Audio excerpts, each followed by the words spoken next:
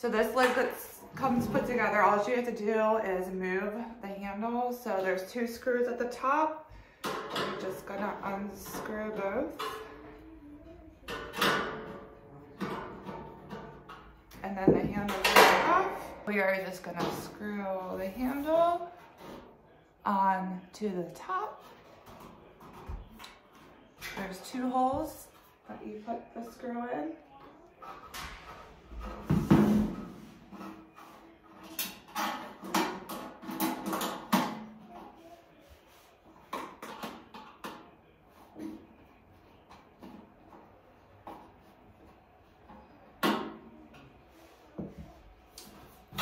And there you go, because this is how it's gonna go on the Blackstone.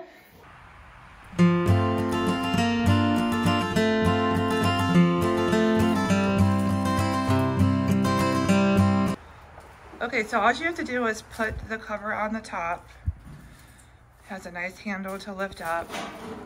Two strong and large hooks ensure it can be hung safely.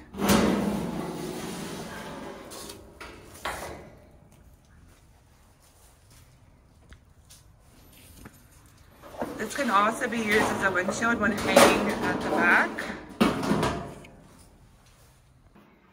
So this hardcover comes in sizes for a 36 inch Blackstone and a 20 inch Blackstone. It is made of stainless steel. It's corrosion resistant.